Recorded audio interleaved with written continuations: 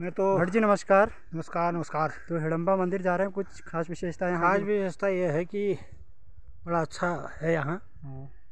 हम तो सन अस्सी में अच्छा।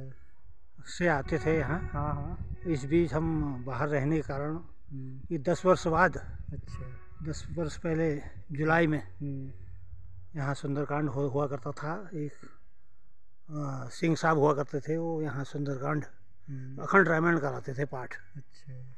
तो पूर्णिमा होती थी उस दिन तो रात यहीं रहते थे हम लोग। हम्म, तो आज दस साल बाद मैं यहाँ पुनः आज तो दस साल पहले कुछ यहाँ पर कुछ आपको कुछ ऐसा लगा कुछ देवी का कुछ ऐसा? हाँ हाँ बहुत कुछ बहुत कुछ बहुत बहुत कुछ।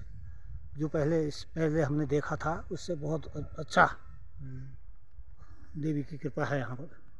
तो यहाँ पर शेर भी है इस जंगल में? शेर बाघ भालू सब है यहाँ। अच्छा जंगल- घना जंगल जंगली जानवर काकड़ घोरड़।